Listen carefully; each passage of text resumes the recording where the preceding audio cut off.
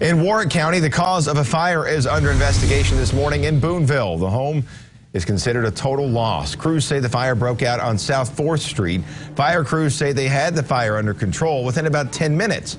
The fire chief tells us the building is probably a total loss because of interior damage. The homeowner and a dog who lived inside are safe. The cause of the fire is something that's still once again under investigation. In Hopkins County, a car crash in